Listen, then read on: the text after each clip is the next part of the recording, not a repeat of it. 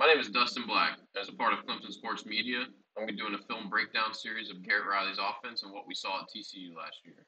Today, we're breaking down the run scheme. All right, so this is one of the run schemes that TCU used last year. This is basically just a zone read play. It's a play that Clemson's used for years as well.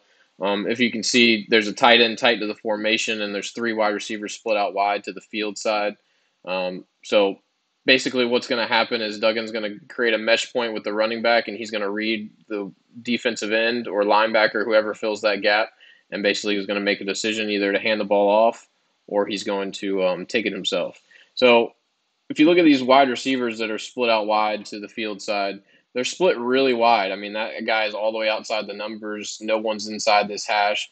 And what that basically does is you basically take the defenders out there with you, right? So these three defenders basically have to make a decision if they're going to play man, they got to show man, or you know if they're going to play the pass, they got to basically decide that we're you know we're leaning pass here.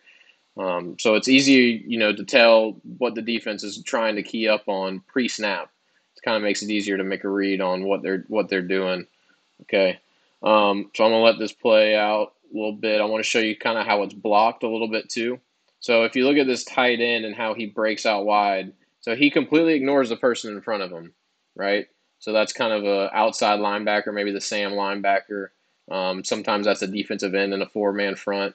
So I want you to watch what happens. So he, he keys up on that outside DB, and this guy kind of gets frozen in no man's land, right? And so that's who Duggan's reading. So based on what that guy does or what he reacts to, he's going to decide to hand the ball off or take it himself. And here he decides to take it himself, and it turns out to be a good decision.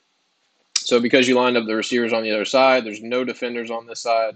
You got one safety to beat, and he's not able to catch up with Duggan, who takes it 67 yards to the house.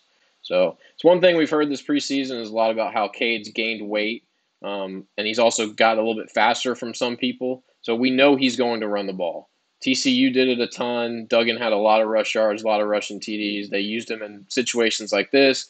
They used him for QB power. They used him in you know scramble drill and just creating plays with his legs. So you know, Cade Klubnik running the ball is something that we're going to see, and I'm pretty excited for it. And this is something that we've already seen him do. He scored on his own read play in the in the ACC championship game. This is just a little bit of a different situation now. It'll be interesting to see if Cade can get have speed like this against the defenders we'll play this year to see if he can take it 67 yards. All right, so this is run scheme counter basically Garrett Riley runs this just as much as anybody in the country, if not more. So it's just something to get used to. Clemson's run it in the past, but they haven't run it to the degree that Riley does. So this is going to be the guard and the tackle basically pulling across the formation. And I just want to kind of illustrate for you pre snap to show you where they're going to actually be blocking. So if you want to become more explosive as a run team, you're going to have to account for these guys downfield, right? So the whole idea of this play is for the, the line to open up this gap and then these big guys that are in motion basically pull across the formation and take care of any linebackers or safeties that try and shoot that gap. So this is going to be Marcus Tate at guard, Tristan Leigh at left tackle. Um, you know, Marcus Tate kind of trained as a left tackle in fall camp, or that's kind of the plan. So both these guys moving in space, getting downfield as a blockers is going to be very beneficial for this run game.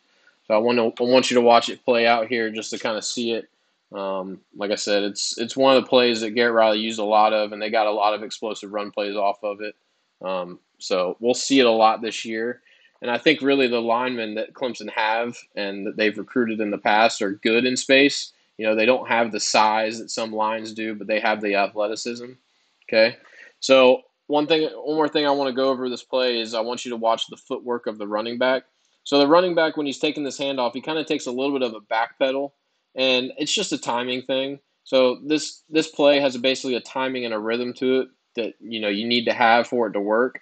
And that's one thing that Will Shipley has talked about this offseason. It's something that, you know, when people interview him and say, hey, you know, what's one thing you can work on this season? He's basically said, you know, I need to be more patient as a runner. So this is going to be something to look for. Um, if you watch the footwork of the running back, I want you to watch how he takes like a little bit of a back pedal, then takes the handoff, and he's there in time. You know, he's not there too early. He's there in time, and the plays executed perfectly.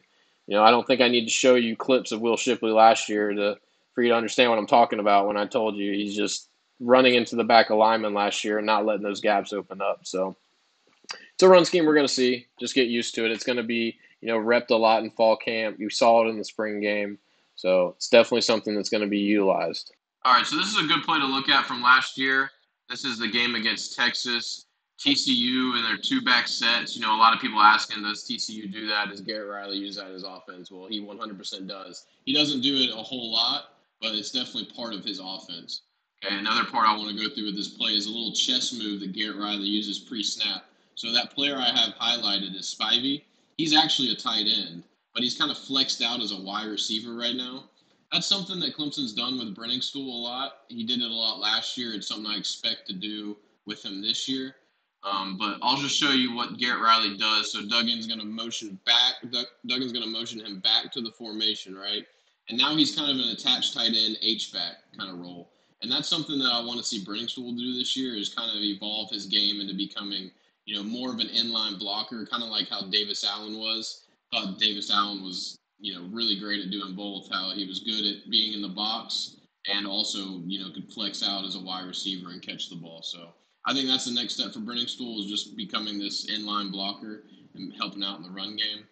So this play is similar to the other zone read play I showed you. The only th- the only difference is that there's an RPO built off of it, and they're actually going to throw a little swing pass to the second back. So I'll let this play out here. So there's the zone read. You got the defensive end frozen, and he's just going to swing pass. And then you got big blockers in the perimeter, right? So the guy matched up with Spivey's kind of a, a nickel. Um, maybe he's just a box safety, something like that. But Spivey's definitely got the size advantage on him, right? So that's an easy block for him to make. Um, again, philosophy of Garrett Riley's offense: get your playmakers the ball in space. It's a great way to do that. It's not a hard pass to complete, not a hard route to run. Um, it's just more easy offense. Okay, and you know, I know everyone's excited about having Mafah and Shipley this year. I expect to see them on the field together, a, you know, a decent bit. Yeah, they're they're two of our best skill players. They're definitely going to be used in this fashion. And I think this is definitely something that Clemson should be excited about this year. All right, so this is TCU in their game against Oklahoma State. They're in their 11 personnel. They got a tight end sitting in as an H back in the backfield. And I want you to watch something that's pretty important on this play. So that's the slot receiver. What he's going to do is he's going to motion through uh, the formation, and I want you to watch what it does to that defender that I have highlighted. It's not big, it's not major, but it's just enough. So if you look at the situation, we got second and one. You know, we're just on our side of the 50. I want you to watch what it does. Just that little bit of hesitation kind of displaces him just enough so that you're guaranteed that one, two yards that you need. It's just another little chess piece that Riley uses in his offense. You'll see that motion a lot, and a lot of times he won't give the ball to him. A lot of times it's just one of those dummy things that you know defenders will kind of hesitate on and kind of look at and respect. But you have to respect it because there are times that Duggan will just snap the ball and have a little jet touch pass to this guy, and he's free to the perimeter. So it's just one of those things that you'll see Clemson do.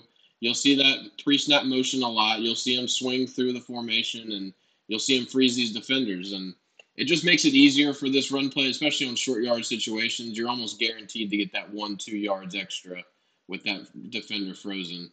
Um, but more go in depth in this run play. You see that tight end kind of as a lead blocker. Um, another thing that's just important. So that's something that we definitely want to see this year. Losing Davis Allen was a big loss. But you see night pretty nice gap open up, pretty easy on second and one, gain about eight. So good play. So a lot of this stuff that I went through today with the run scheme is the basically just the core principles. So there's obviously a lot more complexity through it.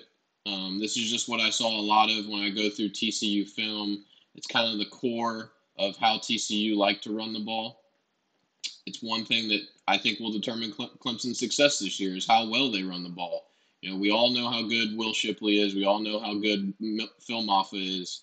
Um, I think their success this year kind of dictates how good this offense is going to be, if I'm being honest. So the run scheme is definitely going to change under Riley. Um, it you may not notice it at first. It may be a little subtle, but I promise you that these little differences are going to make a big impact on Clemson's offense this year.